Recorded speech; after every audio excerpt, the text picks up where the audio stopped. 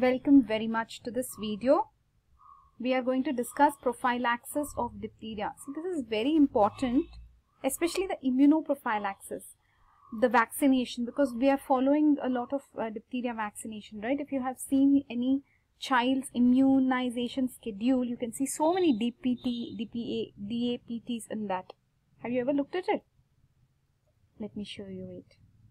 See at uh, 6 weeks they are giving a DT, DTWP, okay at a 6 weeks that is DTP, DTAP vaccine or combinations. Then here you have at 10 weeks again, again at 14 weeks. Are you able to see what I am trying to show? Do you see this D? All these D's are diphtheria. Okay. So obviously, um, as it could be fatal, this disease, they are giving, and it is vaccine preventable. So they are giving diphtheria vaccination. Let's start with a video. Active immunization is done with diphtheria toxoid as it induces antitoxin production. Obviously, you know na, active immunization means what you will give? The body has to make the antibodies, so you will give diphtheria again I keep missing the H diphtheria toxoid is given. Body will make the antitoxin. And these are so good. These antitoxin are so good.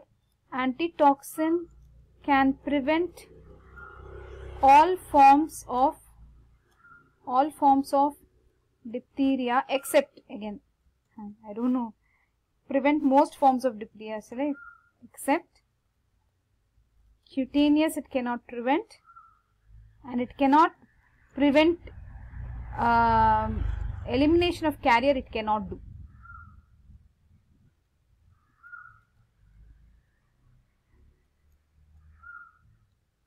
So the this is the worst part. So though the person is vaccinated, he can become a carrier because it will go and sit in the pharynx, right? That's the problem with this. this is one of the uniqueness of uh, diphtheria vaccination. You can get vaccinated, but you can still catch the infection and be a carrier. Okay, that's why there's no herd immunity in diphtheria vaccination. Let's move on. So we are discussing only what active immunization, right? So now let us look at diphtheria types of vaccine okay you have single vaccine. Single vaccine is diphtheria dipthi D-I-P-H-T-H-E-R-A diphtheria toxoid.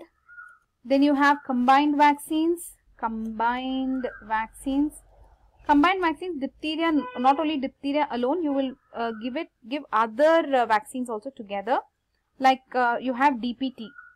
DPT will be diphtheria toxoid that is a DT, pertussis whole component and TT tetanus toxoid. So you have a DT, P and a TT that is a diphtheria toxoid, pertussis whole cell component remember and TT tetanus toxoid. Then you have a DAPT, obviously diphtheria toxoid pertussis acellular pertussis so this will not cause much of uh, fever etc this will be a little painless. D d a p t. Acellular pertussis pertussis. There are two s in pertussis. Pertussis ssis okay? Ap fine. And what is? Tt you know. Tetanus toxoid correct? Then you have something called as DT. I don't know why they did write that first. DT is having diphtheria toxoid and tetanus toxoid. Then you have a pertussis uh, whole cell one and a acellular pertussis one. Then there is a small t capital T one that is having small always means adult dose. Adult dose diphtheria toxoid will be there and TT tetanus toxoid. Okay. Actually, the one that they use now is pentavalent. I'm just trying to find out more about it. Hold on. Here you go. This is the one pentavalent. It has diphtheria, toxoid, pertussis, tetanus toxoid, hepatitis B and HIV. HIV is human influenza B. Sorry, Haemophilus influenza B. Okay, Haemophilus influenza B is also a bacteria only. So all of these were active vaccines, combined vaccines. Did you understand all of them? Do you have any doubt? Let me tell you more about DPT. Okay, DPT is the preparation of choice for vaccinating infants. Okay, it's the preparation of choice. However, as I told you, it can cause fever and all that. DAPT will not cause that much uh, fever, the acellular one. Okay, why uh, DPT is preferred? Because uh, infants can be immunized simultaneously against three important childhood diseases. That's good, right? So, they all are combined. Pertussis component acts as an adjuvant and increases the immunogenicity of DT and TT. So, it is this pertussis one which increases the immunogenicity of diphtheria toxoid and tetanus toxoid. Okay. How to prepare also has been given here. Uh, this diphtheria toxoid, how to prepare some formol method, alum method and all other. We are not going into details of that. It's not required for you. Uh, formol is also called as fluid toxoid. Just remember some alum is used and all that. That's not required for you. Okay. Also, we wanted to tell you that just like how active is available, even passive is available. Okay, even passive immunization is available, which will have what? The antitoxins. Passive immunization is also available and you can also give uh, a combination of these two also. Fine? So, you can mention all that if you want. Active, passive, active plus passive you can do. Okay?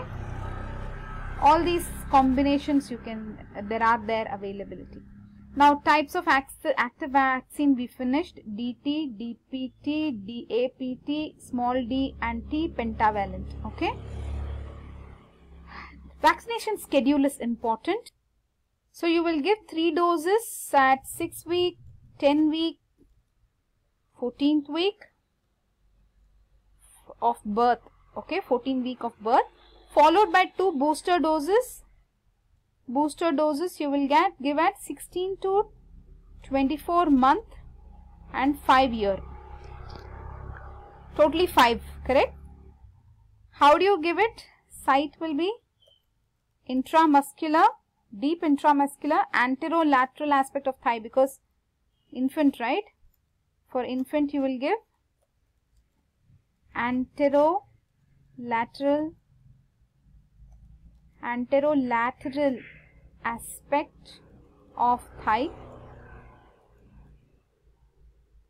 Gluteal region is not preferred because the fat present in the gluteal region may inhibit the DPT ab ab absorption. Okay.